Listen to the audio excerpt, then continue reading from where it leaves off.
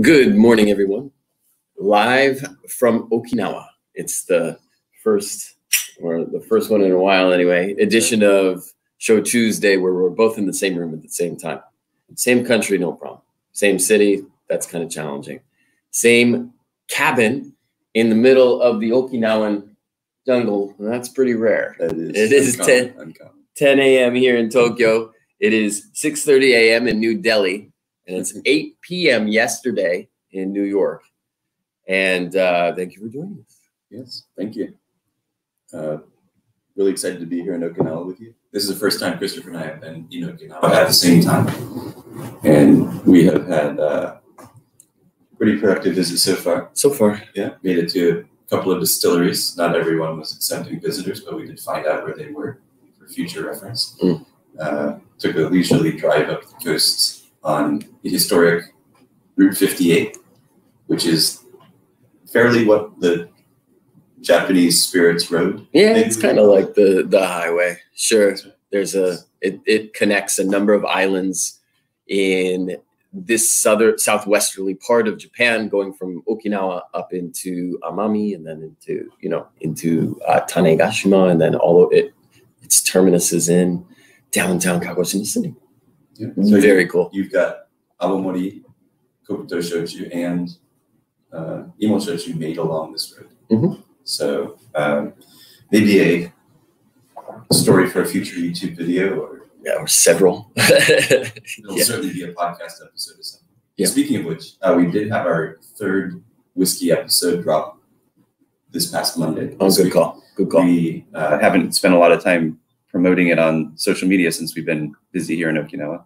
But uh, that episode is in. That's the episode explaining the whiskey rules uh, for the new the new labeling standards standards, and we will have uh, the fourth episode out this coming Monday, which will be the last episode on whiskey, episode number eight of the podcast, and then we'll get back to other Japanese spirits uh, topics. Back to your regularly scheduled programming. Yeah, it's been it will have been four in a row. That's right. and three in three weeks because we plopped an extra one in this week. So yeah, after that fourth one hits, the fourth one, I don't want you to skip the third one. Go go in there and, and listen to episode seven, please. But the fourth one ends up getting a little bit more subjective, I guess you could say. a little Uh, spicy. a little, yeah, a little bit more of our own opinions and you know, hot takes.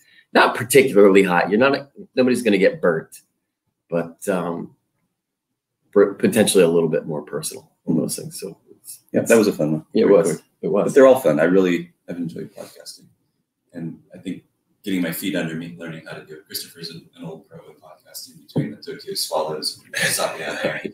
Uh, if any of you do care about the Tokyo Swallows, uh, Christopher does have a podcast on that topic. And if you don't, then you should listen to it just so that you be you start caring, because the Swallows need as many fans as they can freaking get. Um, yeah. Anyway, I guess uh, one of the main focuses today we're going to talk about Awamori, but I think we'll come to that in a moment. Is um, March eighth? March eighth was International Women's Day. That's right. And uh, we, of course, are very proud to have some of the, well, I mean, without without really realizing it, we do have in in um, in our circle, in our network, our circle of friends and people that we have been working with for a long time, people that we have an immense amount of respect for. We have several uh, of the female toji and other, you know, who also at the same time fulfill several important roles at these tiny distilleries. And I think we should talk about them. I think we should give them a little bit of love, Absolutely. even if they're not listening to the podcast. I That's think right. it's still worth Yeah. giving them some shine here. Maybe someday, somehow, somebody will be like, "Hey, these two weirdos were talking about you." Yeah, yeah. No, that's true. Um, I guess I had done an Instagram post about these these fine women a couple week, couple days ago on International Women's Day. So you can go and see their photos and a little bit about them. I think you're going to learn a lot more right now. Um, the first, I think we just go in chronological order, and it may also be the order of relative importance in the industry. In terms of the influence, Yeah. Mm. Yeah, because- you're probably right. So the first is uh, Kinuko Jufuku. Right. And she is she was actually written up in the Wall Street Journal back in the day. Was she? Her and uh, Torikai. Oh, There was a no kidding. because these are two of the finest shochu distilleries in Kumamoto. And in that story, they described Ju- Jufuku Shuzo, which is run at that was run that at that time by Kinuko. I believe she's still the president, but she's no longer the Toji. Her son has taken over as the Toji. She's in her late 60s now. I mean, she still puts her back into it. She's in the distillery on the distillery floor. At least this season she was yeah. she she had planned when I talked to her last, she had planned to retire for this year. But then because of the floods and the and the pandemic, she ended up going back to work because they couldn't really bring people in from the outside because of, for those two reasons, the flooding, they sort of closed down any outsiders coming into the region. Right. And then also once the pandemic hit, they just didn't have anybody else to do the work and they needed to continue making shochu. They are the smallest shochu distillery in Kumamoto uh, with their brand Mushagaeshi. It's resolutely traditional. It is so traditional. Two, two very big and getting bigger thumbs up. That's right. Four thumbs up for, for Four thumbs up for- and for. And Kinuko is a force of nature. She is a powerhouse.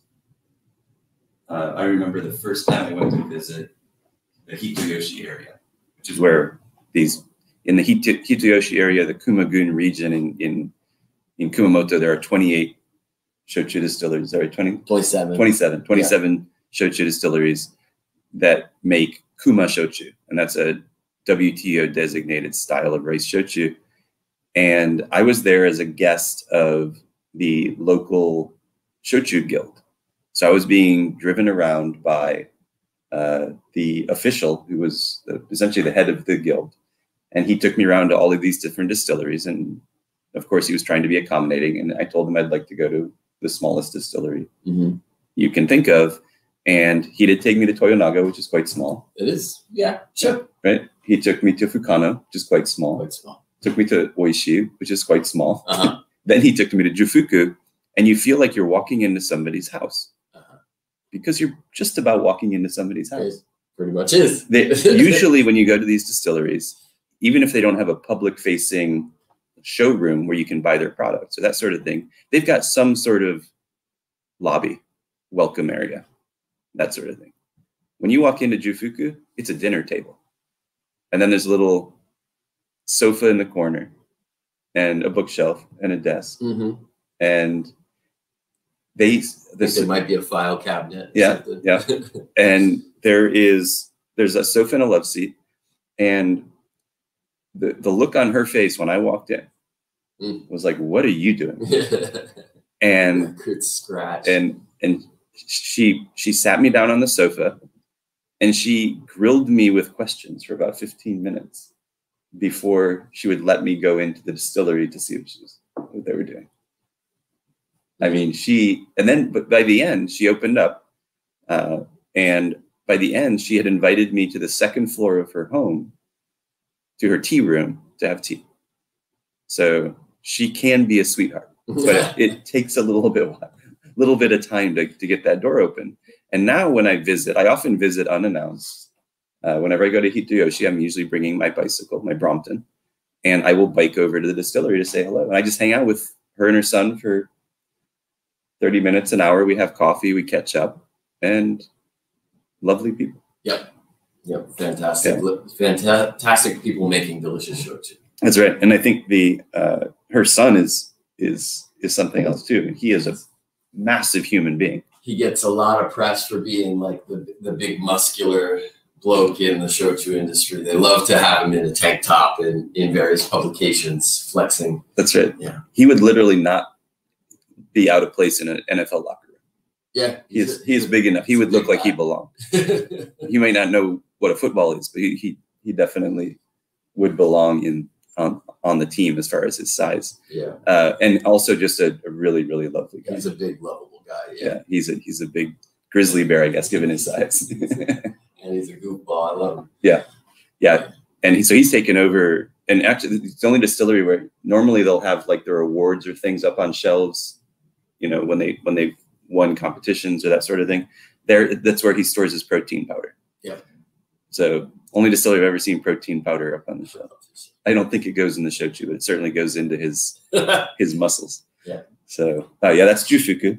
And then uh, actually, just to finish up the story about the Wall Street Journal, uh, so Torikai is also quite small, but they're on the complete other end of the spectrum, both for flavor and philosophy.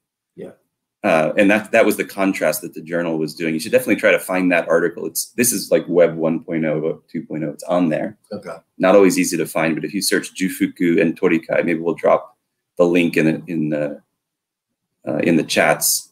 But it's it's a really really interesting article uh, because Torikai they make one style of shochu. They've been making the same style since what the 80s maybe. Yeah. It was developed in cooperation with a university professor. It expresses beautiful ginjo aromas like Yeah. sake. They essentially are making sake and then distilling it. It's a 40 or 42 day fermentation. Yeah. It's like twice as long as Super normal. cold fermentation takes forever. Not a lot of action. That's right. And And tons. yeah. And tons, just boatloads of aroma. That's right. Yeah, we should. And then Jufuku, on the other hand, with Mushagaeshi, is it's this rich, umami laden, delicious, Gonna use the unctuous Classic. word there. classic Yeah. rice shochu. Uh, so that both from a flavor perspective and from a corporate philosophy perspective, can you say corporate when you're talking about Jufuku? They're really the family business. I mean, these are is a strong word in Yeah. that context. they are Yes. local artisans. Yeah. Yeah, even even Torikai, while there's more money behind it, it's still not corporate. It, they have their own unique flavor as well. But we'll do an episode on Torikai. They're, they're definitely uh, worth an episode. And they are available in, in a couple of international markets. So if That's you right. can find it, it's got a very beautiful white label with a, a kind of a it says just says Torikai. That's it. It's, well, it's got a it's a bird basically. They've, Yeah. they've made the kanji for Torikai look like a bird. And if you if Yeah. you get it, definitely try it straight first. The, the first time you sip it, you have to try it straight, Mhm. and then maybe on the rocks, not with heat. Don't heat that one up. It gets it gets unwieldy if you heat Tori Yeah. Torikai On up. the In my experience, On the rocks is great. With soda is great. Yeah. Splash of water is great. Torikai, and it's it's not just that ginjo, but it gets umami in the middle. Yeah. and it finishes Sure. with the ginjo again. Really, really lovely drink. But sorry, we're not talking about Back back Yeah. to So- uh, Musha Gaeshi. That one works really well. That one does work with heat. Mhm. Uh, very good Mizuwarian on the rocks. And I've never tried it with soda. Is Yeah, it good with yeah, soda? Like it with soda. Yeah. Yeah, it brings out the sweetness a little bit. Makes sense. Yeah. No, really, really excellent drinks. Jufuku Distillery, Kumamoto, Kinuko, Jufuku. Yep. The matron, the godmother, the godmother, of the boss. Oh, she is. Yeah. She and, and she holds court. Uh, I remember going into a kisaten, like a coffee shop. They serve like curry rice or you know these sorts of things. I was having lunch with her and her son, and her ears per- perk up, and it turns out Torikai's in the corner having coffee with his friend. Uh-huh. She goes over, slides into their booth, and talks at them for like thirty minutes, and then she then she realizes she's forgotten me at the table and, and her son. And so we we get invited over and and the the five of us hang out for another hour. It was That's just funny. yeah, but he she just talked at him. Yep. And he's he he's a good guy. He just sort of you know, he's used to it. Yep. Yeah. And they're Acknowledge- about the same age, I think, but she greatness. she definitely definitely tells him who's boss. Love it. So Love it. yeah, really, really fun. Um, number two, I guess I don't and actually don't know which of these Toji is more senior in age. I don't either. Uh, but I think I got the order right. And the second would be Masako Furusawa in Miyazaki. Um, my introduction to her was when she was with the Miyazaki shochu makers that came to New York a couple of times. Okay. And I was I was essentially there as the ambassador to talk about the shochu. I'd never met her. I had never heard of her brands. Uh, again, resolutely traditional. Everything is handmade. All of the distillate, all in fact, the first fermentations are in in ceramic pots. In ceramic. Yeah. Uh, second fermentation is not. But then everything spends time in clay after distillation. It's it's not completely kame aged, but it is uh, partly kame aged, and it varies how long she leaves in the kame depending on what. I think it depends on the kame. I think it depends on the brand. Yeah. Yep. She's uh, it's a very cool distillery. Another one like Jufuku where you're kind of entering a home. Now, in her case, the home is literally and sharing a wall right. with the distillery.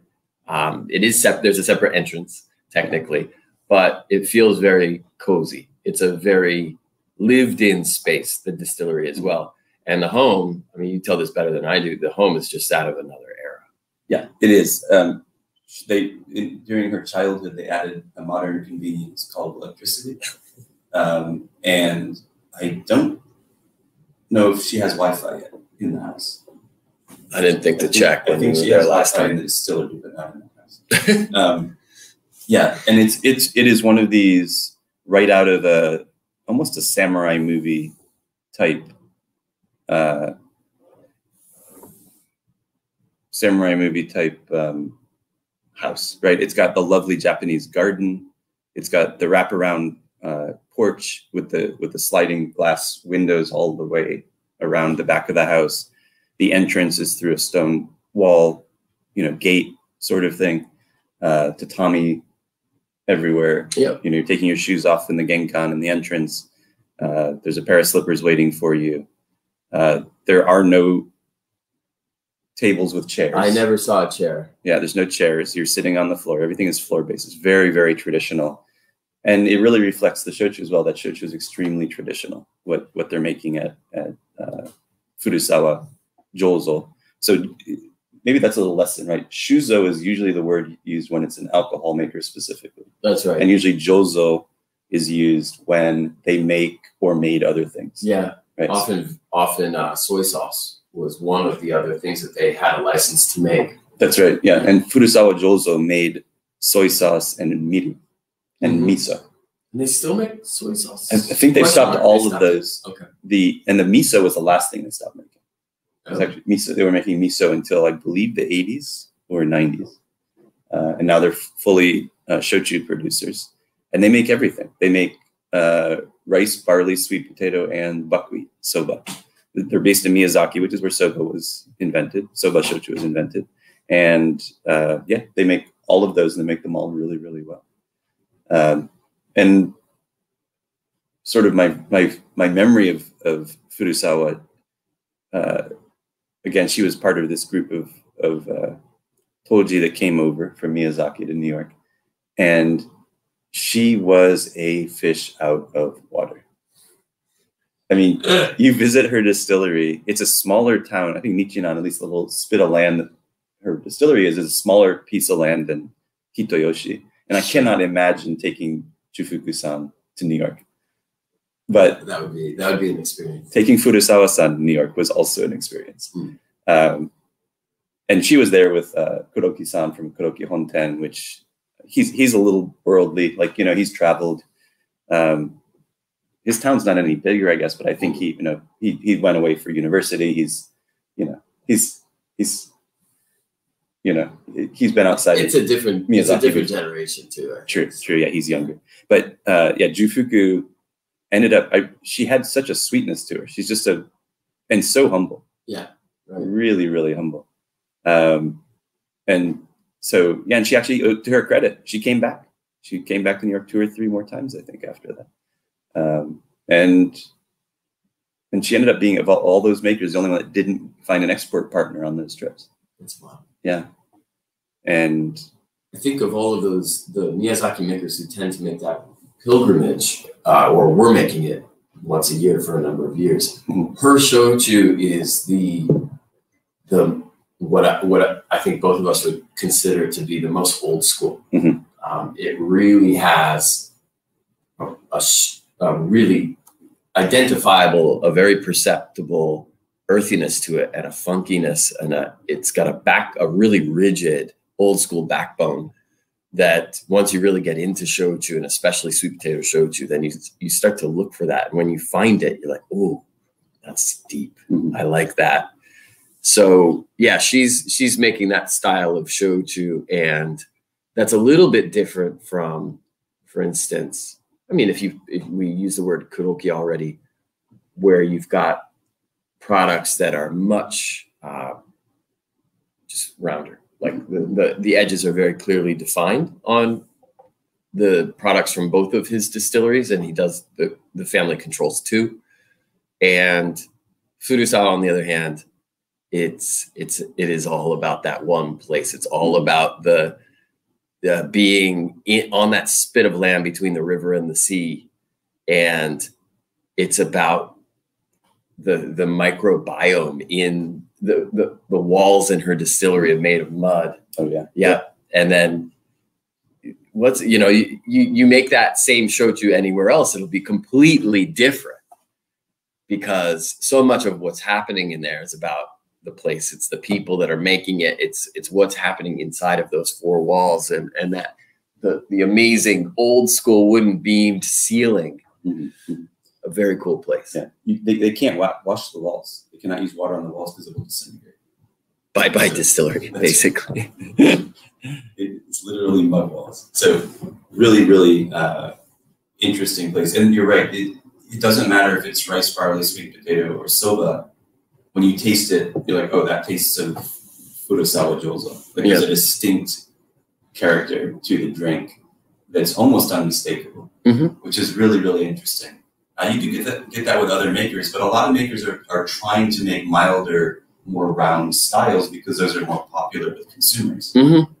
But Furusawa, says, no, this is how my family makes it, and I'm going to continue to make it. Now, to her credit, she did release a brand that's designed to appeal to a broader audience with the Aizakura Sen. Uh, Sen is definitely Yeah. a lot more approachable for people who are new to sweet potato shochu. That's, That's right. For, that's for sure. And it but it doesn't express as a Furusawa product, almost. Mhm. Right? Now I have to revisit it. I haven't had it in a couple of years. I haven't either. I haven't had it since I was drinking with her at an izakaya in Miyazaki City, probably three. Oh, Jesus, it feels like forever. Three years ago, maybe. Hmm. And I tried it, and I, I, I actually blurted out. I was like, "You made this?" I was, and I, I didn't mean that in any other sense than, "Wow, this is, this is really mild and unassuming, and not the the Furusawa." Uh, uh, yeah, I guess it's a funk, Furusawa funk. Yeah. That needs to be a song. that should be. Yeah. Yeah. Yeah. Anyway, uh, Furusawa-san, another sweetheart, um, salt of the earth. Four thumbs up. Yeah, four thumbs up for Furusawa. Yeah, it's, We're, we're mirrored. with this is it, no, it's not mirrored. That's the problem. mirrored. Yeah, Oh, it's not like Zoom. StreamYard, which we're using right now, doesn't mirror. Yeah, so so if I do this, it's because I'm still getting used to the format. Yeah. Um, yeah. And then third on our list today to talk about is Maiko Jikuya. Jikuya-san. Yeah. Now she is in Kagoshima. So again, we've already hit like three prefectures here. started up kind of up north, I think. Yeah. Yeah. In Hi- Hitoyoshi, Hitoyoshi. Kuma Shochu. So Jikuya-san's making Satsuma Shochu, That's right. which is the geographic indication or yeah, Yep. G- the GI for uh, sweet potato shochu made in Kagoshima Prefecture. Uh, distillery up in the mountains on the foothills, Hmm.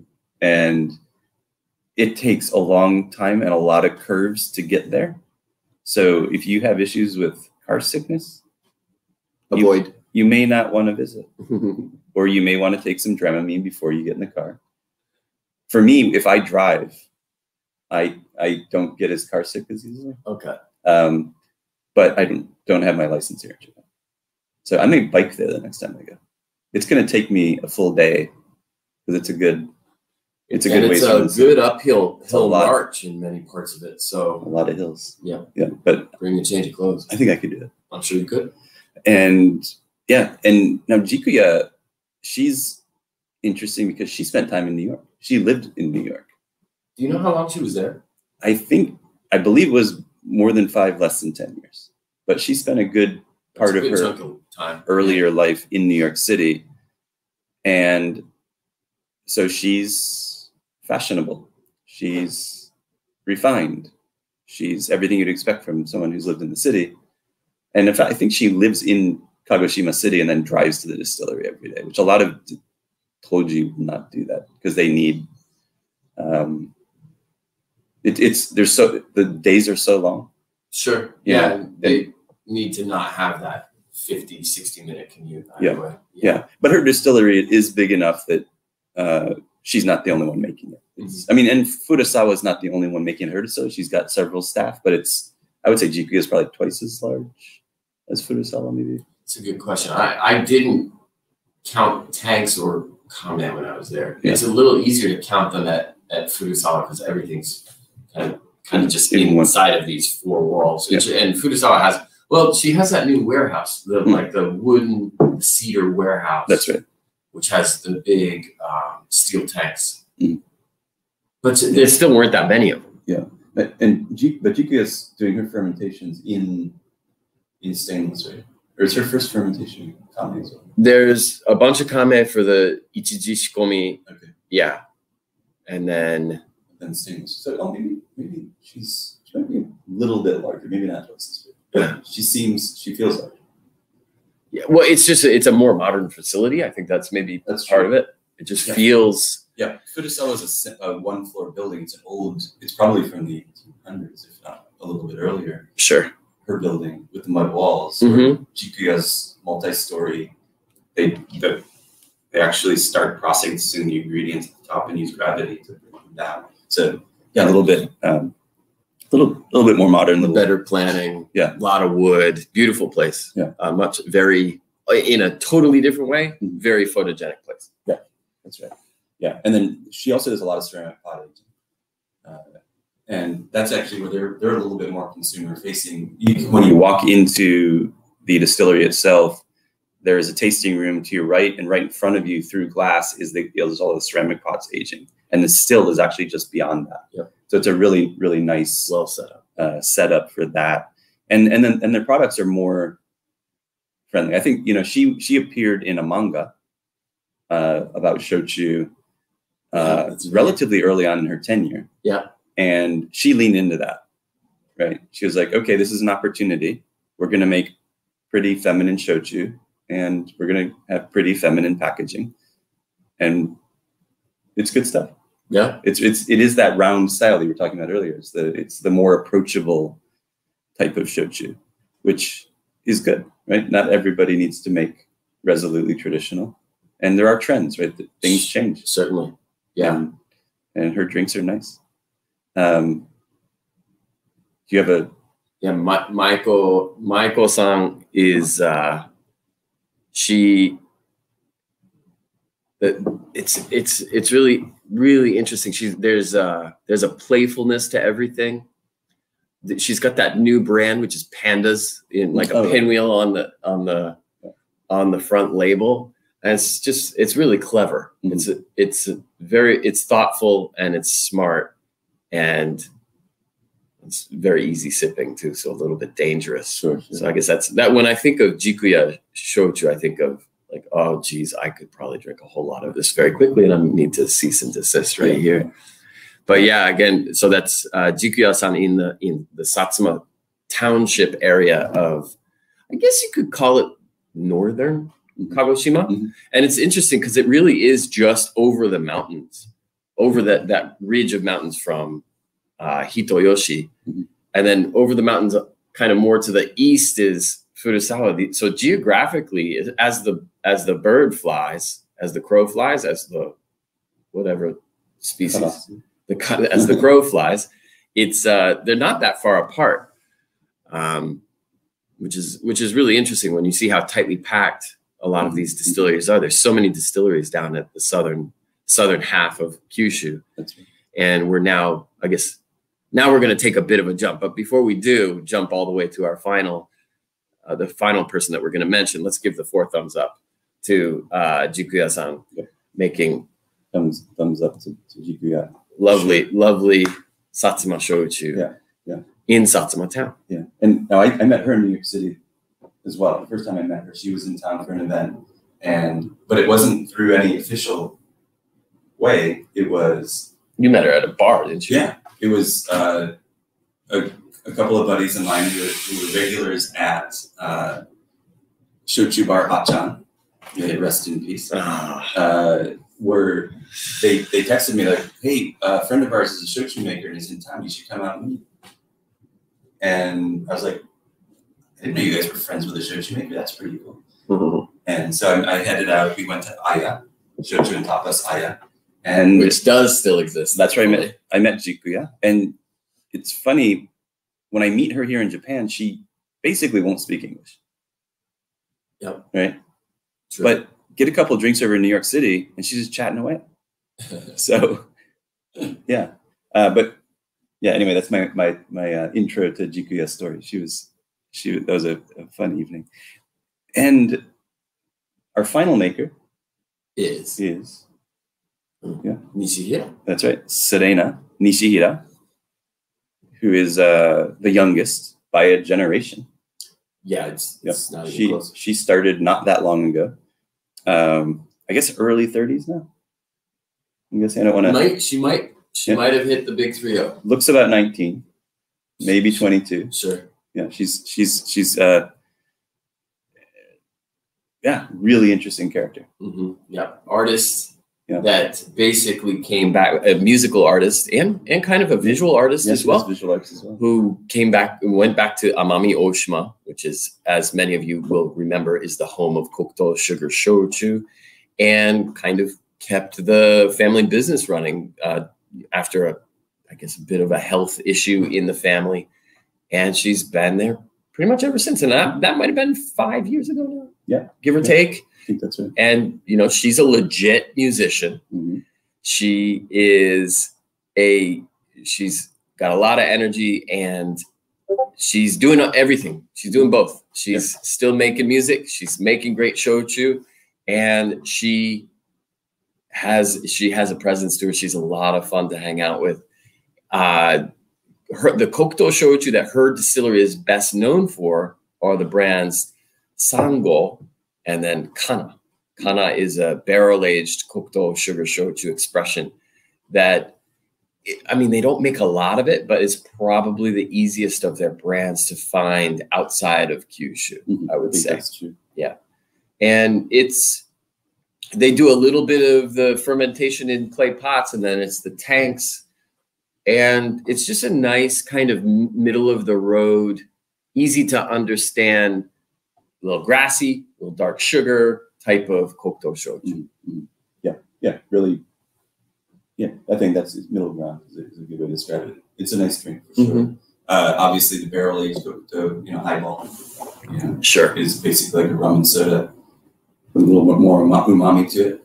I think it spends about a year in the barrel, the usual. It's not not a oh ex, not a really long period of time. I think it might be a year. Yeah. Yeah. And it's funny when you know she reminds me a little bit of Tekon from Yamato Zakura. Okay. Uh, I guess trying to set some frame of reference because she was an artist living outside of Amami, a musician. I mean, she's got albums. You can actually buy her albums on iTunes um, or wherever you buy your Japanese music. That's a Um, big question mark for me. I have no idea. She has a website, I think. That's true. That's probably where you should go. Music, But she's um, she has uh, Basically, she made a deal with her family. uh She said, "All right, if you, you know, if I can continue to play my music, I'll come back and help." Right? She basically bargained with her family, which in Japan is pretty uncommon. I think. Yeah. Yeah. Right. And they she was basically coming back to rescue the family business. That's right. Yeah. Yeah. And what she ended up, what they ended up doing for her is building her a music venue adjacent to the distillery. Right. So she's got her own concert hall now, basically. And it's a pretty cool place. They they bought the building next to the distillery, which was an old bunch of apartments. Basically, it was an apartment block, maybe three floors high, if memory serves. And on the on the first floor, on the ground floor, they line they I think they knocked a wall out, so they connected a couple of them. They put a sound booth at one end of this now long room, and then on the other end they put a little a little dais and or the you know the performance area chairs in the middle, and along both of the long walls are casks of kana that's aging. You know, you got casked shochu in there resting.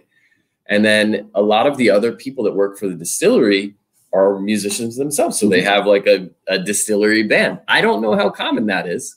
I'm not sure I've, that, but it's pretty cool. If there are any other distillery bands out there, I think we should, I think there needs to be a concert celebrating both them and the, the things that they make. And uh, so, yeah, they have jazz concerts in there. And on the second floor, which I think is also very cool, they they converted another one of the apartments into a bar.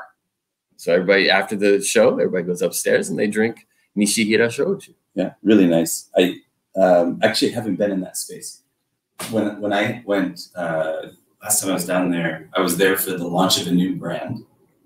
Uh, and Serena performed. She did, and her performance, there was actually a, a he wasn't, he was like a jazz violinist who came down from Tokyo, apparently very well known. Hmm. They call him Neko-chan, and everybody does this when they're in pictures with him.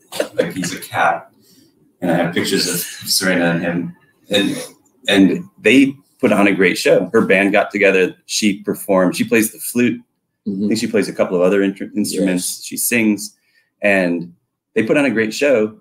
And then, and of course, afterward, everybody's out for dinner and drinks. And it was, but they did that at a different venue. It, Oh, okay. it wasn't at their. They were somewhere. downtown in Naze, right? That's right. It was in downtown uh, Naze City, uh, but really, really fun time. And yeah, so Chuck Malone. Those of you who know Chuck in New York, he this is where he interned for uh, Nishihira. I think he was there for almost three months to learn how to make kokuto shochu. He's gone on to learn how to make rum in the Caribbean. He's kind of been bouncing all over the place working in distilleries now. So it looks like he's gone down a rabbit hole, not only shochu, but distilled alcohols generally. And it seems like sugar based is primarily what he's studying. But I, I guess he was making some of the, he was working on Moto for a while, Moto Spirits in, Mhm. in Brooklyn, where they make a rice whiskey uh, and a couple of other things. They make a rice whiskey. Yeah, they do. I didn't know Yeah, it's a, they're using doing it in a Thai style or a Vietnamese style, Uh, yeah, Thai was. but it is using rice and it's using some sort of koji fermentation. interesting. Yeah. So he was working there. Uh, he he's gone down to the Caribbean. I'm not sure what he's doing now. I've Got to reach out to him. He, last I talked to him, he's upstate, kind of hiding out during the pandemic. But um, yeah. Anyway, Chuck worked at Nishihira, also a musician. In fact, he used to play for Second City. He's Right, a piano he's a man, hell of a piano player. hell of a piano player. So they they started a band. They uh, they started a band while he was there. They played several gigs around Amami, and he fit right in. That's very cool. Yeah. So I'm sorry I didn't get a chance to see them play. That's right. That's so. Those are our four our four ladies. We got to give thumbs up. Yeah. For Serena. Four thumbs up for Yeah. Serena Nishihira and her band That's right. that makes beautiful kokuto shochu down in Amami. And uh, yeah, International Women's Day, March 8th. We're, we're a couple days late, but you know, we, we're not, we do this on a Wednesday morning here. So That's one right. of these days it'll probably fall on a Wednesday. That's right. A couple of years from now. Yeah. So to recap, we got Kinuko Jufuku Jufuku in, in Kumamoto. in Kumamoto making kuma shochu. We've got uh, Masako Furusawa in Miyazaki making everything. Yeah. We've got Maiko Jikuya in Kagoshima making imo shochu, sweet potato shochu, and Serena Nishihira in Amami Oshima making kokuto shochu. So covers a lot of the spectrum. It does. We have not found a female awamori maker though. No, um, I know that, for instance, with uh, Sakiyama Distillery, the boss is. I don't. I don't know how much of the. I don't know how much of the um, brewing and distillation she does these days, but the boss anyway is uh, certainly qualifies for this club that we're talking about today. Okay. And uh, we unfortunately we don't have any of her products with us. We we have a couple different ones. Again, for those who joined late, we are in Okinawa right now. Um, you know, kind of having a, a mind meld down here, trying to make sure that we are taking great bounds and leaps and strides and every other type of forward movement you can think of to further the interests of the shochu and awamori industries. And I guess yeah, let's let's talk about what we've Sure. what we've uh, Yeah, I seen could use some more coffee. I could use some coffee too. That's a good idea. Let's have some awamori co- coffee. awamori coffee. Comes in a in a little plastic sippy cup Yeah. that you can get at the at the convenience store. with beautiful Okinawan themes. Yeah, little bingata pattern on. on the And yeah, hey, be, where is it? Five o'clock right now. I have no idea. Um, the closest to five o'clock on my ah in in California, it's it's now five thirty nine. There we go. All right. Well, here's the California. Thank you, California, for giving us the excuse that we need. Yeah. Fortunately, no driving today. That's true. No no car. Today we're gonna hole up here in in this uh, Mine is childproof. this cottage in the jungle, essentially. It is. It's very green here. We're on the And, side uh, of a we're gonna, we're gonna brainstorm a bunch of stuff and hopefully have all sorts of interesting things for you guys coming out of that brainstorm. I can't open it. There's a tab on this side. I know. I tried. No, on this side. Oh, that's the big tab. Yeah, it's got a big tab. There you go. Here you are, son. Thanks, Dad. There you go. Okay, so in in Okinawa they don't say well they do say kampai, but also they say kari k a r i with a bar with a bar Kari, kari.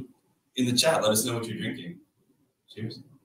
Very strong coffee nose to it. Mm. Very strong almond taste to it. Oh yes, This is this is not low proof. What is what is it doing? this is twelve percent. Shoot, that's a lot higher than I expected. Yeah, we may be taking a nap after, after this. Let's see what um Yeah. the the weather in John's like is it really cold enough to be wearing what you're wearing right now? Yeah, Well, I'm wearing a I'm sweatshirt. sweating right now. I'm pretty warm as well. I'm wearing a toque, so This helps.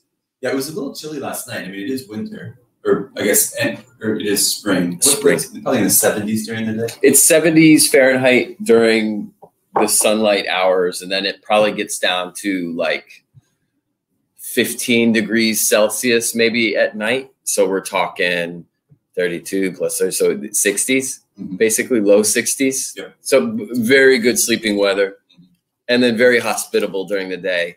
That's right. All right, is this this may be overkill? Yeah. Um, but Yeah. I, was just committed to wearing my, my his my- normal tracksuit. my Irish tuxedo. Yeah. Um, so, yeah, but I'm warm. Yeah, we're gonna open the windows after this. We just I didn't thought- want the wind outside to. Probably should have gone with my my shochu t-shirt instead. But um, this is nice though. I'm enjoying this, and I, I've been making awamori coffee at home. You know, I've, I've got such a weird work schedule now because normally I don't want caffeine and alcohol together because caffeine will keep me up, the alcohol will make me tipsy.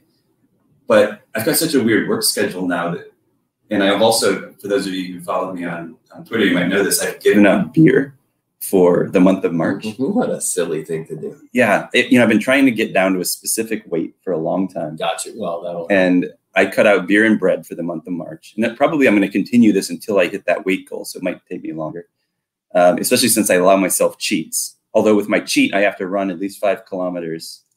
Drink a beer, run 5K. That's right.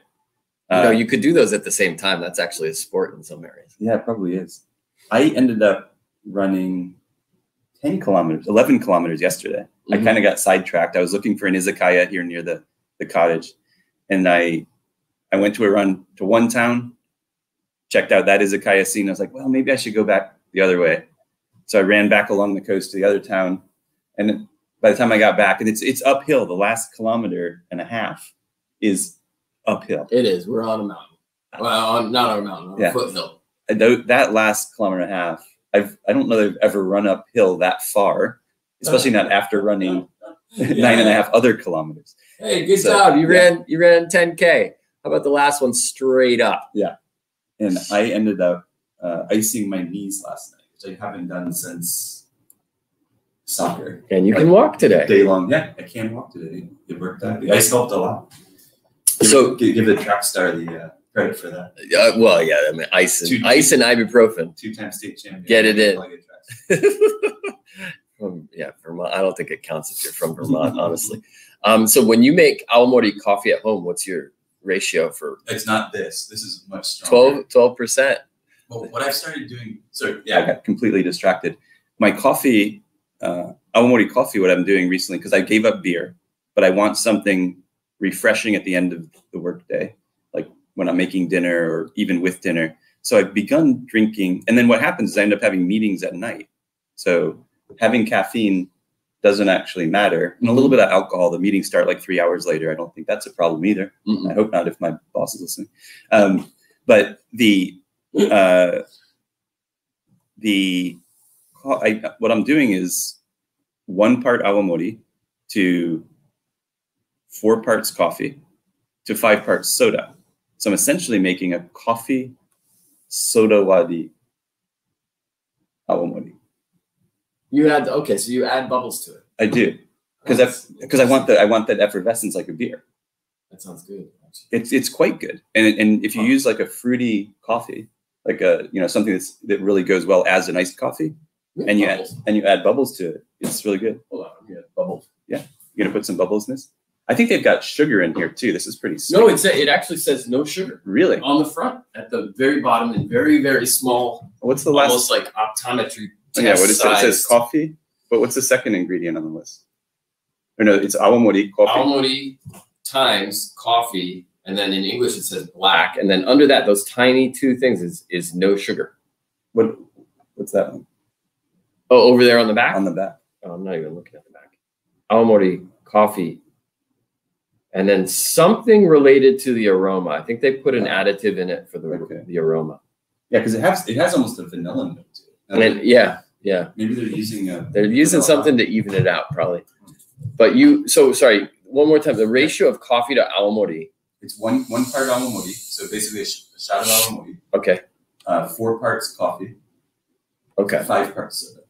So I'm doing 10, 10 parts, 10, 10 parts. This is in a, in a tall glass, you know. Collins glass. Even bigger than that, almost like a beer pint glass, right? Because again, I'm trying to replicate a beer. Okay, this is this is sparkling water, not more alcohol. yeah. You want some? Yes, please. Thank you. There's Yeah, not so a whole lot of sparkle, but And what I'm now thinking about with this drink is so I don't know if folks are familiar, but the coffee sonic is now a thing in Japan. So coffee sonic, it's, it's like a gin sonic, which is a Japanese cocktail, which is a gin and tonic, but you cut 50-50 soda and tonic water. So it's not as sweet as a gin and tonic. it's pretty good. Yeah, gin sonics are nice. I like, yeah, I like. Oh, and we have gin. oh, we do have gin. We just yeah, need some- not start that yet. We just need some tonic water. Yeah. Um, so gin sonic, but ice, and then there's coffee coffee sonic as well. So I'm thinking the Awamori coffee sonic. That sounds good. If Needs there are to any, be something. any bartenders out there, go get yourself some some awamori and start playing with that. Find the right Yeah. ratio. And let the, us know The because I think that's going that to be you use is thirty percent. Uh, generally, yeah. thirty percent. Thirty percent is pretty normal for awamori. What we have here today is we have chuko. Now this is made by Helios, which is Yeah. a very large company Huge. that makes a bunch of different types of beverages in general. But we've I also like got some some uh, chuko awamori. We visited Chuko the other day actually and had a great time Oh, talking man. with the with the boss, the shacho, uh, Mr. Oshiro, Mm. gave us a, a a great tasting. If you are ever in Naha, Okinawa, you should definitely visit Chuko Distillery. Really, probably, and correct me if I'm wrong, maybe the only distillery in the world that also has a pottery studio right inside of it. Yep. So they make, you know, they make their own pots. It's a local style that they kind of pioneered, the gusukuyaki style. Mhm. Amazing stuff. They do this flame scorching on the outside of their pots, which Mhm. is really cool. In the kiln, they got four four kilns inside of their facilities. Just Yeah, a we got- but freaking two- amazing place. Two craftsmen, full time shokunin. Yeah. The craftsmen who are making the pottery. Beautiful, beautiful pottery. Unfortunately, I I I, I splurged this time. you Uh, did. I- He, I, we I was talking to Shacho and he disappeared for like 10 minutes. I came back with a lot lot lighter bank account, you spent like seven seven hundred dollars. Um, Love it. but I've been for those of you who have been paying attention, I I really love secondary aging awamori at home. Chuko makes their own ceramic pots. How can you How can I not Yeah. bring some of those home? Yeah. So I got one 5.4 liter pot, which is a that's three isshobin. Yep. Right. It's a good size. It's like it's about this big. Nice big hefty pot. Yeah. Can Your still wife- sit on a table. Doesn't have to go on the floor. kill you. Yeah, could could be. Uh, and then the and then I got a 1.8 liter, but that that that form factor was just gorgeous. I couldn't Oh, walk away from Yeah, they make yeah. this really. They make. I've got one. Next time I, I do one of these at home, just look behind me up high. There's one of those that starts really wide at the Mhm. base and it kind of tapers up. Yeah. 1.8 liter, really beautiful form factor. You're right. Yeah. I love. I love those. Yeah, and that that one was a little spendy because it has 10 year old awamori. Yeah. So that's that's part of what you're paying for when you buy these pots because you can buy the empty pots and they're a little bit cheaper. But then I was looking at the amount of liquid and the age on it that you're getting. I was like, it's it's just worth it to get the extra. And how extra money. cool, how cool is that that you're buying a vessel in which the the spirit will continue to mature That's right. and and in some in many cases improve. Yeah. Uh, that's very that's awesome to be able to do that at home. It would be like buying a cask from the distillery, a whiskey distillery, take a, probably a really small cask, obviously. Yeah. bringing it home and then refilling it. That's the goal here is to home age and and mature your own spirit.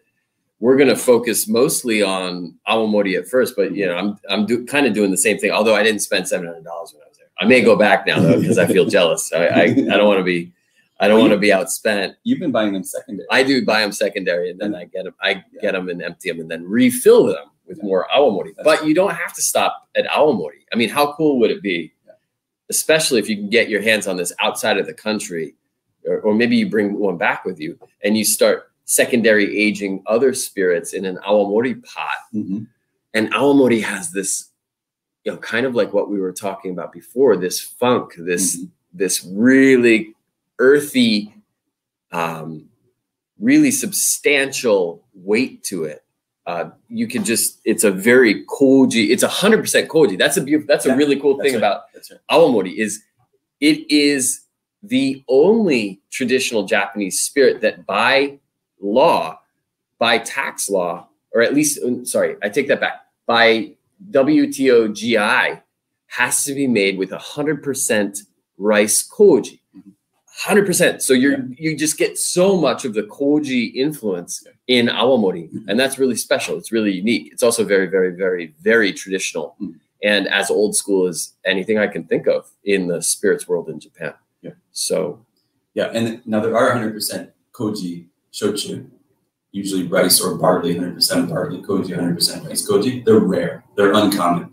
But here it's in a lot of work. everything is 100% koji. Yeah.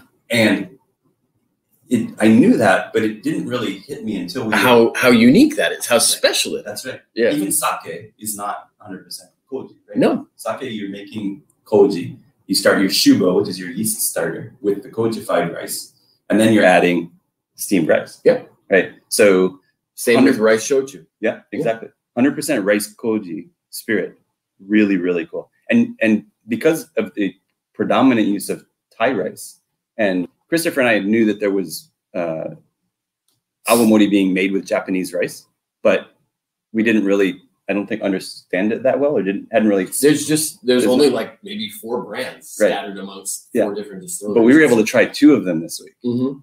They're really, really good. They're really interesting. They're, but they they express differently than awamori. So this is the next rabbit hole I think we've got to go down is how does Thai mai versus uh. Japanese Yeah, rice, Japanese domestic rice. how do they differ in their expressions as awamori? Right. We need to find the distillery that's making everything else is identical: fermentation, temperature, time, Yeah. just distill everything. Right. And the, re- the then other what's the difference with the interesting thing about these new brands of awamori that are made with local rice is that the rice is actually hyper local. So the output of these distilleries vis-a-vis these new 100% domestic brands Mhm. is really small. Yep. So they're very hard to get your hands on.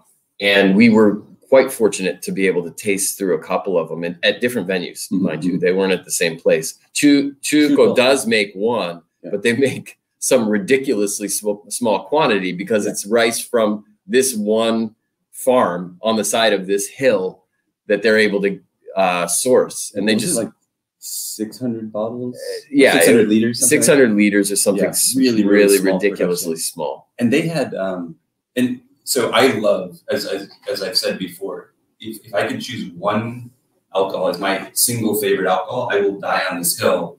It is long pot aged awamori stuff's good. I and i love sweet potato shochu. I love Mushagaeshi right? These are these are drinks that i i really i love. I absolutely adore. But if i had to choose one thing on that tropical island, if I was shipwrecked and I could only drink one thing, it would be really, really long aged awamori. Yeah. It is just so lush, so deep, so rich. For the sake drinkers out there, that would be koshu, koshu. but Yeah. in Okinawa they call it kus. That's it. K long first U, K U, and an S U, kus, and that's if you It's- have to say it that way. Uh, if you want any respect, you have to. When you're down here, you have to say kus. Um, they will say it when you when you're visiting. They'll call it koshu. Right. They they will because that they know that you might How do understand they that know word. we're from out of town? I I don't know. It, it's just we must smell different. Yeah, that's probably it. The um, so anyway, that love the drink, love, love, love the drink. So when the president of Chuko was introducing us to some of his his products, he pours this. He doesn't tell us what it is, but he pours it. And I think we're going over an hour today, We're at we're at Yeah. 55 minutes now, so I but guess- it doesn't cut off, right?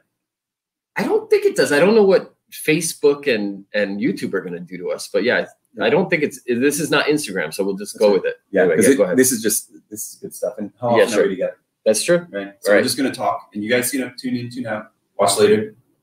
It's all it's all good. I think um, with when he poured that, and I just told him that my absolute favorite spirit is long aged kus. This is at. Chuko. At Chuko, right? He pours something for us. I knows it. Christopher knows it. We both go, oh, I like un, unbelievable aroma. I, Right. I believe the the exact words in my mind were, "What the fuck is yeah, going on?" it was so interesting. Yeah. Lots of vanilla, lots of caramel, really, really fascinating. Mhm. And then I'm thinking he just gave us like a, a, a unicorn of, of you know 40 year old expression because he poured the last dregs out of It was like, "This is the last I have, and you guys are gonna taste it." We're Yeah. like, what? Because Yeah. that was probably really, really precious. Yeah.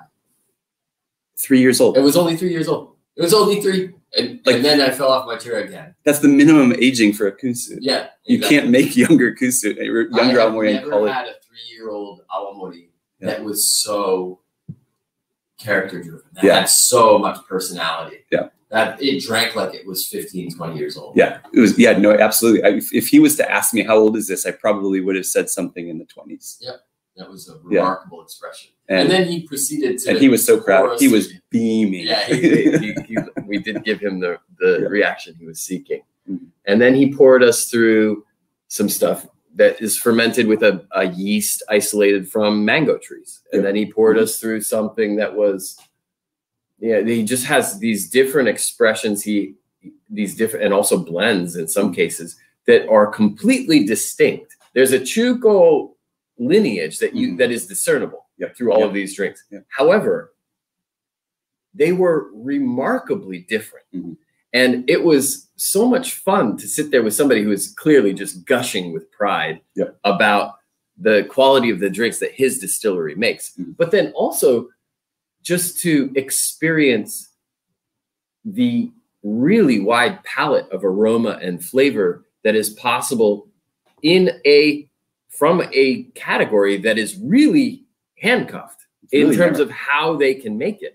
It has to be made with rice. It has to be black koji. It has to be zen koji shikomi, meaning 100% koji fermentation. Mhm, mhm. They can't they can't just goose it with extra rice and extra starch. That's right. That's right. And in the in the traditional style, it has to be single distilled, one time through the pot. There you go. Right. And it's like I remember first time I went to Amami Oshima was when I really started to understand Kokuto Shochu. It it was a pretty I guess we're displaying this Helios Kohi Wari. Other we've not we've now made it Kohi Soda Wari. But um yeah. And I've been to Okinawa before. This is my third time. I, I'm kind of embarrassed that it's only been three times. Right. But It's. Uh, I'm so impressed. And then we visited yesterday, just on our drive up. We stopped at two. Yeah, we stopped at the new Saki Sakimoto Sakimoto. location. Used to be next to the castle. They moved and they restarted operations last year uh, up north, up or Although in- north where we are. Although now. in April, which was not a good time to. it was an interesting time to Yeah. try to relocate. Obviously, for for many people to do anything last year was a was trials and tribulations all over the place. Yeah. But And Sakimoto, actually, that's so the the the pot that I received from Maurice. that's right. is from Sakimoto. That's right. and that is we we figured that's somewhere between. I think when we did the math, it's between 15 and 28 years old. And I was I am a long term fan of. I was supposed to I was supposed to bring you a sample of that. I'm sorry. Now you tell me. Um, Yeah. but it's still it's still it's still in Fukuoka. So Okay. there's it's it's not gone. but it's the interesting thing about Sakimoto. I recommend and what I'm what I'm slowly doing is stockpiling old bottles of Sakimoto. Yeah. Purely because I want to taste the difference between the old and the new. It's going to change The distillery moved quite a distance. quite a distance. 20 kilometers. It was the old distillery was somebody's house. Yeah. It was it was very Furusawa in that mm. sense. We talked about Yeah. Furusawa-san at the beginning at Yeah. the top of the hour, and now it's now it's a nice modern facility that is adjacent to something that's called Ryukyu Mura, which is kind of a a little bit of a art yeah cultural arti- artisan driven cultural center devoted to the promotion of Ryukyu, which is the former name for Okinawa Ryukyu Kingdom. And so they're right next to that. They're actually up on the hill a little bit further. We did drive up there. We talked to one of the people that works in the distillery. And he, he look on his he was like, as soon as we parked the car and he saw us, because you know we're in the car, so we're not wearing a mask yet, and he's just like, "What is going on? These guys aren't." There- there's a there's a mili- there's a strong military presence in Okinawa, of course, but we have beards and we have scraggly hair, Yeah. and so like these guys are not military. What the hell? Yeah. Just rocked up here. So I got out of the car, locked it, nodded to him. He's like, "Oh my god, I have to talk to these guys." he gets he get he goes around to the door to unlock it, and we have a we you know two minute conversation. But uh, Sakimoto, I'm very interested to see because as we indicated, as we've indicated several times, place really affects the spirit. Mhm. and something that you know shochu awamori you got open fermentations in many cases.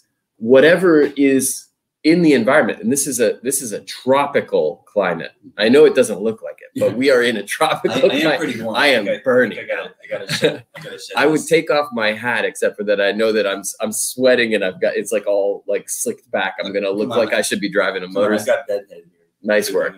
Nice work. Uh, but it's going to be interesting the juxtaposition of flavor. I think if they can maintain the same flavor profile, then I will. Well, I'll be honestly, I'll be shocked. I Mhm. will be completely shocked. Oh, sure, sure, sure. There's no way that, that brand new building. it's there's, there's no house yeast. No, unless, unless not yet. Like, not scraped yet. the walls and like spread And it on the floor. and it's S- Sam blasted the walls with the old house yeast. wiped, wiped it on the ceiling or something. Maybe that's what they do. That's what I would do. Yeah. If I was in charge of that transition, Yeah. I would Take go beams- scrape the walls, I'd take the beams out. I'd take the- bring the beams, just like- hang, hang them in the, in the room. ta- bring the joists. Yeah. That's actually really interesting. I want to make a house. I want my my future vacation home to be made out of the beams of a former awamori distillery. Mm. I bet the cooking would be amazing too. And you know, they so we went to Sakimoto. Yeah. They're not really, they, but the new place is going to be great because it's it's open. It's going to be open to the public. Uh, Yeah, the, but the the one thing I like about the old place was I never got to visit. I really enjoyed it. It was very, it really is in the shadow of Shuri Castle. It's really just in one of the neighborhoods that on the back side, on the like opposite the there's a there's a what do you call it a monorail. Shuri Jo uh, station or Shuri Castle station is one of the stops. You have to kind of walk to the other side of the castle. In one of those back neighborhoods was the old distillery, and they were just used to drop-ins. They were very accustomed to people just showing up because it said, "Oh, it says it says actually it doesn't it, on Google Maps. It said like Shochu. Uh, well, I think it said Shochu Brewery or something. It's really insulting and on two levels. It's not they're not making shochu. They're making awamori, and it's not a well. It is a brewery because they brew, then they distill. But it's a so uh, I'm sure a lot of people dropped in there, and they just had the it, open. Uh, come on in. People are naturally just going to walk in. You walk straight into the distillery, and then on the left side was this tasting table. And it said very clearly, "Do you need like go ahead, have at it." And they had a couple of their brands sitting out, little little cups that you could use. In you know, here's where you put, here's where you take a clean cup, here's where you put a dirty cup. Why are there not more homeless in that neighborhood? It was it was Rummies should be living so I would I went in there a couple of times, walk in there. I know, just start sampling, walking around the distillery. There's nobody to stop you. If there if there's nobody there, they don't care. It's just you walk around, take photos. Like, oh, okay, there's well, there's the filter and there's the condense. Oh, the where's this still? Oh, the still is back there, and I'm you so could kind of figure could you could So figure it out if you know knew what you were looking at. If you didn't know what you were looking at, it wouldn't be that interesting because it's a bunch of tanks, and then you're like, I'm not sure how all of this works, but there's free booze, so I'll stay here for at least 15 minutes. Yeah. And then I think that's what a lot of people did, and uh, I really I really appreciated the the Sakimoto. And there's two Sakimotos in the awamori world with different kanji. This was the one that used to be near Shurijo, and now it's it's uh where where is it now? I'm not even sure the name of the town. I think it's up. Onna? It's if it's not in On Onna, it's just south of there. Yeah, I think it might be a little south of Onna. Yeah, it's north of the military bases on that, that stretch. It's north of. Kadena Mhm. military uh, Air Force Base. sort of on that peninsula, sort of in that region. Yeah. Anyway, Very cool. Okinawan geography will be a future lesson. But yeah, it, but no, so that was really fun. And then the other place we stopped by is actually Manza. So this is Manza. This is the closest distillery to where we were visiting. It is where we geographically. And never heard of it. Christopher had never been there, which I was shocked. I didn't know that there was a I- distillery he hadn't been to. I hadn't been. I hadn't been. Yeah, and uh, so Manza, it's the same kanji, kanji on top as Manzen in Kagoshima, which is one of our favorite sweet potato shochus. Uh, sorry, I'm trying to get the reflection off of that. That is a really And- shiny label. It is Manza, and this is we got this in a convenience store. They would they would not sell us a bottle because they're not open to the public right now. Yeah. Um, and but this is a from a convenience store. This is a kosh, uh, kus, It's a kusu. So it's this is a at least three years old, Yeah. but only 25 percent alcohol. It was a very, very good bargain. I think we paid Yeah. 900 yen for it, which Yeah. is which is about eight and a half dollars. Yeah. in the local uh, convenience store. Unfortunately, we did a lot of damage to it last night. We, we Well, went. we were throwing darts. There's a We- dartboard. Oh yeah, that's what I wanted to mention. That's what that's why I have bedhead because I couldn't get out of bed too much earlier before this because, um, well, Christopher it turns out is a ringer. I was a ringer. I He's- used to be. He's a darts maven, and I'm competitive. I'm competitive, and you were very good. You and I, very well. I hadn't played darts in a long time. Neither had I, but it, yeah, I, Yeah. it came back to me. Yeah, it was it was a lot of fun, but Mhm. later later than we intended. It was. We were playing cricket. It went Yeah. a little late. Cricket's a good game. Cricket's a great game. It's a great strategy game. We need a we need a We need we need we need one more person for so we can make teams because that's uh it's a lot of fun when you have to do it wouldn't it way. be three people? No, So we need two more people, well you can you can actually play with three people. but as teams. You can also you can you can have pairs. No, but how can you have a pairs pairs with three people? We need we need two more people Yeah, you said you said one more person. each. Oh, okay, gotcha. Okay, so all right. So if any of you are in the area, come over tonight. Yeah, we'll we'll, We'll, we'll uh, teams cricket. Teams cricket. It'll be Yeah. great. We're drinking all in one. Well, what we have left, we're have to go to the combini. We do. We do. This is really good though, and you know what? I have more coffee, and I have more soda. So Manza, just to just to Oh, cap yeah, off sorry. the discussion of Manza. Manza is uh, old school. Really It's- old school. It's very Tiny village, seaside. seas, very seaside. In fact, They're probably uh, two two blocks from the ocean. distiller uh, the the izakaya we went to last night. Yeah. We we ordered it um, on we ordered it on the rocks. Essentially, they wouldn't sell us an ichigo of it, so we're like, okay, we'll have two glasses on the rocks. Oh no, that, that was a different brand. Sorry to call you out. Was it? Yeah, we got we got it. We got it. Ichigo. Oh no, you're right. Kuina. they Yeah, didn't that's it. You're so this one they sold it to us uh, just in a little uh, Okinawan glass carafe, and we poured it. Which, however, we wanted to drink it, and it was immediately like, "Oh, that's got, that's got some, that's got hips. That's it, it, Sense of place. wow." Yeah, that was really really good. It right, reminded me of like if, if Furusawa made awamori. I Yeah, think that's not that's she not would be making manza Manza. or something very much like it. Yep. This, the distillery was really fun. We we get out of the car. We're both you know, just tired from travel and whatever.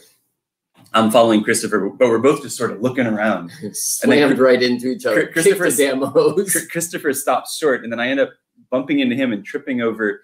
They actually had the hose running out where they were dumping their. Um, I think they had been dumping their their lees. There was a truck with with a tank on the back, and I guess they had been filling that earlier. And that hose was just there, like dripping a little bit into the sewage, the sewer grate. And I tripped over Christopher and that. Yep. Kick Like, Christopher right in the heel. Welcome, welcome to. Uh, Yeah, but it really, but really old distillery. And it was funny. The only person we saw while we were there, we could hear people working inside, but we didn't want to uh, bother them. There was one guy whose apparent job was to what they do is funny. They, they give you what twenty yen per bottle. I think was the they They do. They do buy bottles back. they'll buy bottles back for 20 yen a piece for the locals to they so that they can just reuse bottles rather than you know because I think a, a new bottle from a bottle maker is going to cost you close to 100 yen. yeah 50 to 100 yen. So they're like, all right, 20 yen, bring bring your bottles. So there's there's this poor guy. He must have been like the, the low guy in the totem pole.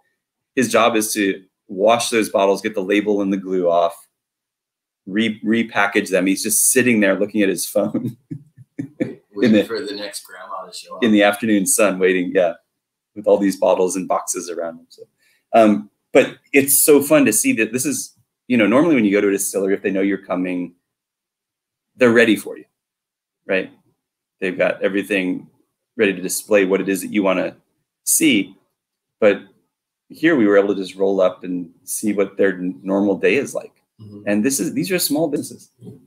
They're tiny tiny businesses. And it's just it's so nice to experience this you know because we a lot of especially early on as i was getting into this and being hosted by the local guilds or you know whether it was jss you know japanese sake and shochu makers association or jetro they're take you're on a you're on a curated tour right? You're visiting the big places you're getting wined and dined and all that and it's really fun to just drop into places the only reason we knew manza existed was google maps Yep.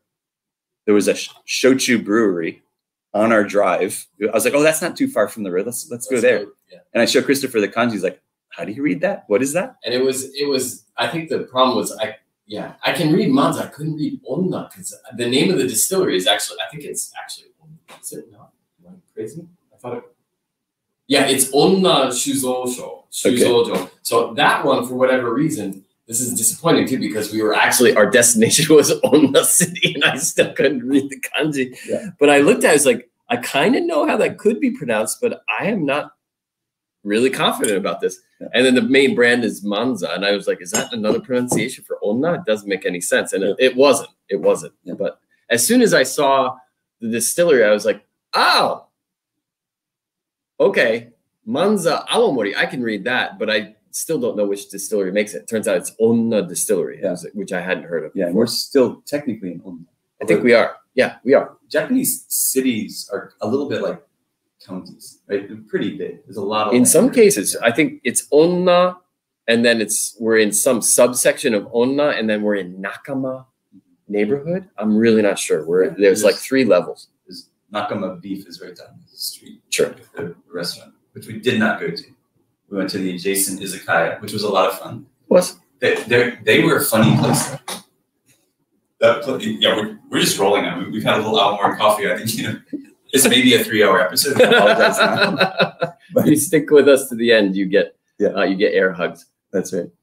The um the izakaya last night was they spent a fortune on decoration. Right? Oh yeah, yeah. yeah. No, that's like that's that's like their whole thing is Yeah. like how cool the inside is. And and the other thing I've realized because we've now been to izakaya several times this week. I'm okay. The uh, you need to order local food. They they make salads for tourists because they understand we want fresh vegetables here in Okinawa. Nobody makes salads well. Nobody cooks fresh vegetables well. That's, kind of true. This is a At meat what we've seen so and far. seafood and fermented things. Uh-huh. If you're a vegetarian or a vegan, do not come here. Yeah, yeah. Just don't. you're in trouble. The and and at this place, I ordered a couple of, and I was like, all right, let's. Usually, I'm in charge of food when it comes to Christopher because he doesn't eat. That's why he stays so thin. Um, he's getting better. He's learning to eat. I meant, yeah, right. I'm sorry, continue what you're saying. and he he um anyway so I, i'm like all right let's start with and what we realized the other day we we ordered several dishes just the two of us out for dinner izakaya. We were the only people there. Mhm. the only people. And the cool thing about izakayas in okinawa is they are often open air which you can't find in the rest of japan. So when this izakaya they open the entire front wall along the street. It's just open air right? We're the only customers and there's the waitress and the and the chef And the cook, right? 19 year old waitress. and the 20 year old exactly cook, line maybe cook, right? 21 if he's lucky. And we order a bunch of food all at once, and it all comes at once Yeah. because we're the only customers, right? So the, the warm dishes are getting cold, the cold dishes are getting warm. Uh, so I learned a lesson there. And so last night I started with the cold dishes, which Yeah. were the salads. None of them were good. And I'm like, man, we picked the wrong izakaya. There were only three places in town. I was like, man, we did not hit the right one.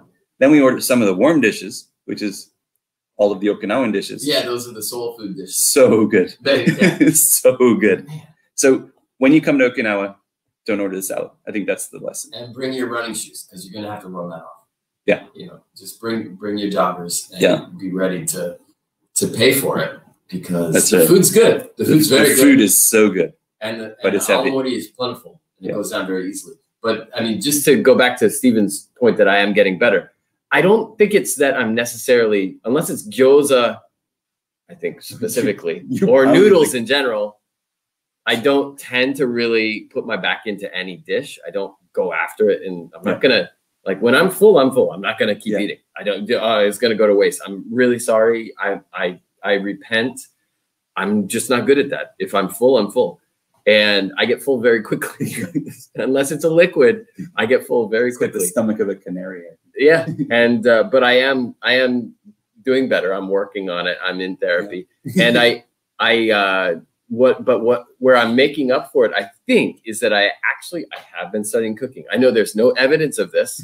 I hope at some point in a future episode when we're talking about food, I can talk talk to I can drop some comments about how to make it. And uh, you know, obviously Stephen's the chef, the home chef here, but I am paying attention. I think will, is what we'll say for now, because there's no evidence that I know anything about food other than abura soba, where I have Expert. opinions. Yeah. And I know nobody that's listening to this, other than may, maybe Maya, really knows what I'm talking about. Yeah, Abura soba is incredible if you have the chance to try it, especially in Tokyo.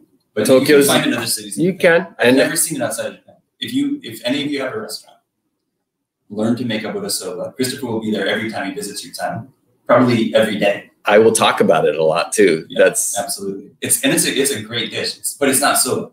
no, it's ramen noodles. Yeah, it's like It's as much soba as yakisoba is soba, Exactly. which are ramen noodles. Yeah, right? ramen um, noodles on Invariably ramen noodles. Yep. So good. Abura soba is so good.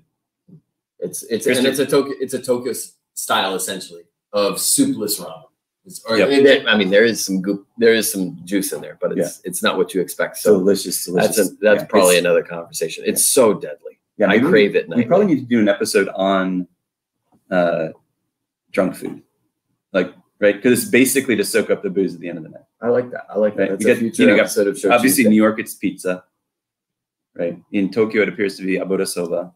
In Fukuoka, I think it's more alcohol. I wish it was abura soba. I do not have access to to 2 a.m. abura soba. Oh no! I live. Oh well, unless yeah, I, unless I make it. gotcha. Have you ever made abura soba? I have. I have made it. Oh, so you But are a cook. but I can't do it at 2 a.m. because then I will get uh, I will get uh, drawn and quartered by the person that I live with. Ah. Yeah. because the kitchen is very close to the bedroom.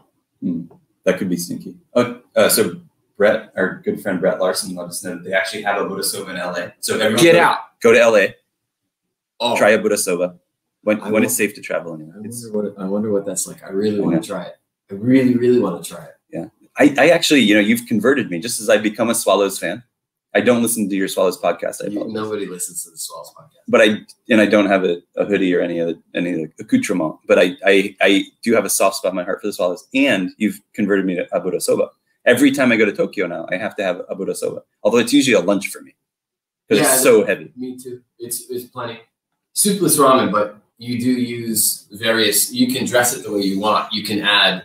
I always add uh, some type of spicy. They tend to have a spicy garlic type Mhm, of mhm. paste, or not a paste, like a slurry. Doesn't sound very Yeah. nice. That you can drizzle on there. Uh, rayu, chili oil, and vinegar are Yeah. staples of.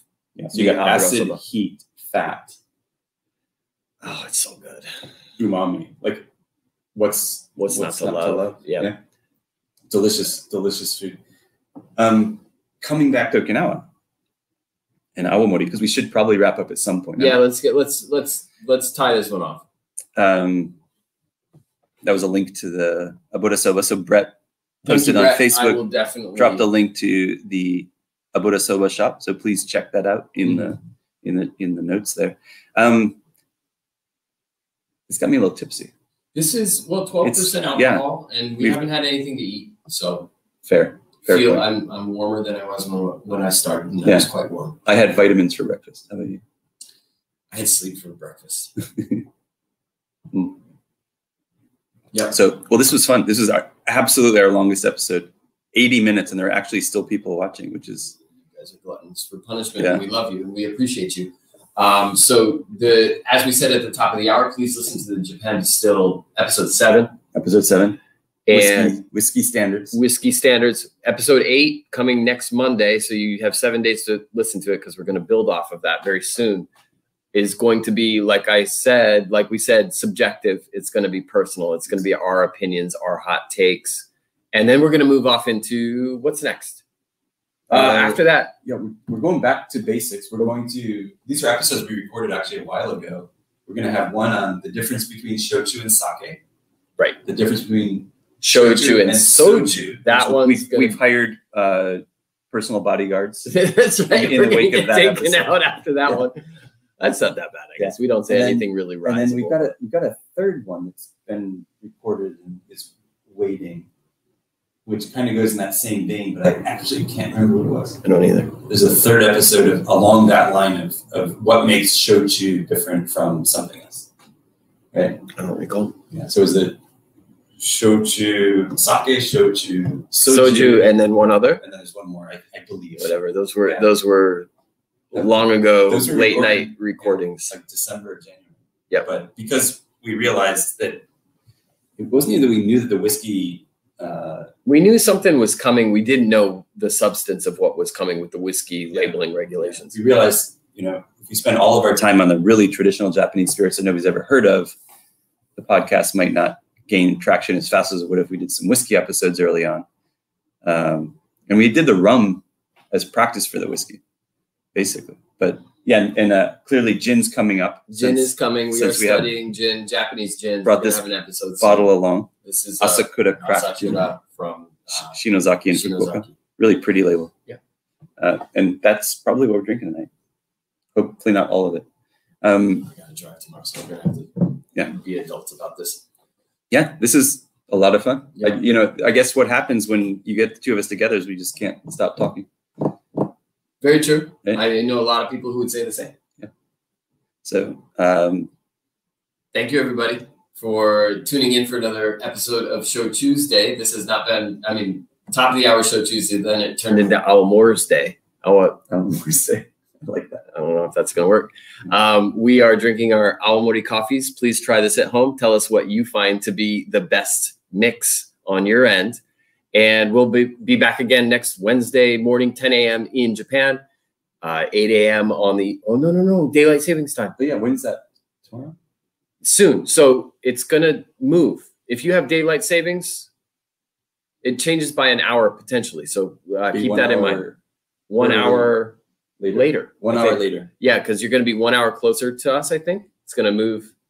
At least if you're in New York City, now it's 14 hour difference. It's going to become a 13 hour difference. So it's going to go one hour later, which is better than one hour earlier, I'm sure. So uh, we'll see you again, and please, uh, you know, tune in to everything that we're trying to do, and and comment if you don't mind. Let us know what you're thinking. And we appreciate what everybody's saying over here in the sidebar, Yeah. and we've reacted to some of it. Yeah, Yeah. unfortunately, Well, I'm blind. I mean, Maya hit us with our uh, our more one more Wednesday. Our Our Wednesday. Oh, Wednesday. How about a Wednesday? A Wednesday. That's it's another a Wednesday. Yeah. It's been a great it's a great start to our a Wednesday. Right. And we hope that when you finally get there, that it's a great Wednesday for you too. We will be back again soon. But until then, as always, a very hearty and heartfelt cuddy.